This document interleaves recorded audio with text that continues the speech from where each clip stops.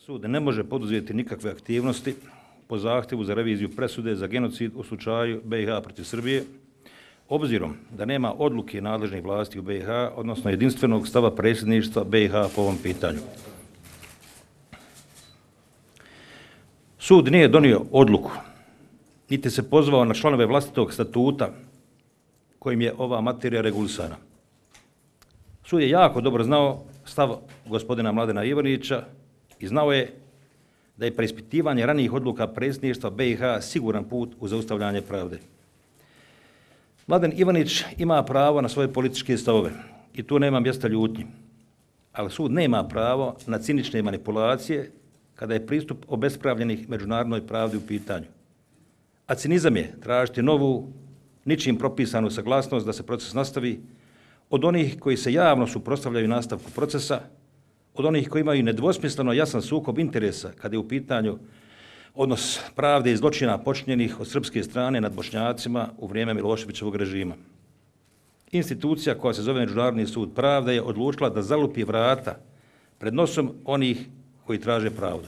Sud je odlučio da zatvori vrata pravdi i da zatvori oči pred onim što je bjelodano jasno. Ranija presuda ovog suda niti približno ne oslikava ulogu Srbije i Miloševićevog režima u genocidu i etničkom čišćenju koji je izvršeno diljem Bosne i Hercegovine u agresorskom ratu koji je vođen od 1992. do 1995. godine. Gospodin Radovončić, Suljagić i mnogi drugi su vas prozvali kao da ste vi glavni krivac za neuspjeh revizije. E, kako to komentarčujete i kolika je u stvari vaša odgovornost? A šta drugo očekivati od gospodina Radovončića, Suljagića i ostale koje ste naveli? Apsolutno me ne zanima niti je referent na gospodin Radovančin, Suljagić i slični da meni lekcije drže u ovome slučaju i o bilo čemu drugom. Dakle, apsolutno me ne zanima što oni misle i šta pričaju. priče što god oči. Što znači to da je odluka politički motivirana? Što mislite zapravo u kojem smjeru ona ide? Dakle, jedno pojašnjenje. I druga stvar, ovaj, evo čuli smo dakle, što je rekao gospodin Radončić, on je kazao i da vi trebate razmisliti o vašoj vlastitoj političkoj budućnosti, pa evo komentar. Pa kazao sam da je gospodin Radončić zadnja ličnost koja može mene komentarisati, moje postupke, svi smo se tome uvjerili, onome što on već decenijama priča, radi i tako dalje. Dakle, potpuno što se mene tiče i relevantan i on i njegovi stavovi. Šta je nastavak pitanja? Mislim da je stvar jasna.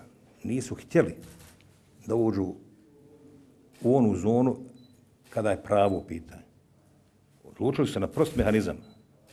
Hajde da pitamo one koji su zainteresirani da se pravda zaustavi, da se revizija zaustavi. Šta vi mislite o tome, da li da nastavimo s ovim procesom? Pa ako vi niste za to, onda ćemo zaustaviti taj proces. Dakle, nipošto niste trebali tako postupiti. Pomalo se gubi iz vida šta je u stvari početak ovoga svega. Pola Bosne i Hercegovine su očistili od Bošnjaka, porušili hiljadu i nešto džamija, pobili skoro sve imame, prevorali muslimanska groblja. I sad se nešto očekuje da se mi nekome izvinjavamo. Znate, da ja sad razmatram šta će biti sa mnom i, se, i sa mojom strankom i s mojom političkom karijerom, baš me briga šta će biti s političkom karijerom, duboko sam povrijeđen, uvrijeđen ovim. Što bi mogla biti reakcija? Čija? Pa evo, vidjet ćemo, vidjet ćemo. Samo ja mislim da, da se njima što kažu već pomalo ovaj, od mene pa nadalje puni čaš, već preljeva. Če odnos se valja nama ovdje živjeti u vijekovima koji su pred nama. A užasne se stvari desile, one se negiraju i mnogo toga se, kao što rekao Bošnjacima, negira i ponovo im se dovodi u pitanje teritorijalni integritet ove zemlje, dejtonski mirovni sporozum, identitet njihov, njihov jezik i tako dalje. Na dnevnoj bazi Bošnjaci se vrijeđaju u zemlje nakon genocida kojim je počinjen.